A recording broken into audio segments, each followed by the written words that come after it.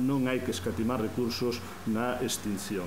E a Xunta de Galicia está cometendo neste momento unha irresponsabilidade non adiantando o operativo que ten previsto para o mes de xullo a pesar de que todos os datos indican que estamos nunhos días moi complicados e vímolo perfectamente o pasado fin de semana onde se produciron máis de 200 lumes en, en Galiza.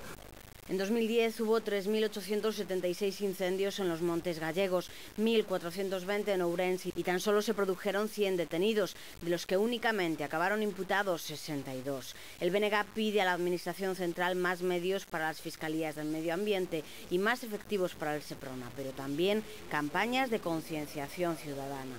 igual que hoxe non se tolera e calquera cidadán denuncia outro tipo de delitos que ve que se están producindo, temos que conseguir que se un cidadán sabe que un veciño seu foi o responsable da provocación dun lume, ten que denuncialo. Los nacionalistas además creen que este tipo de delito no debería ser juzgado por un jurado popular.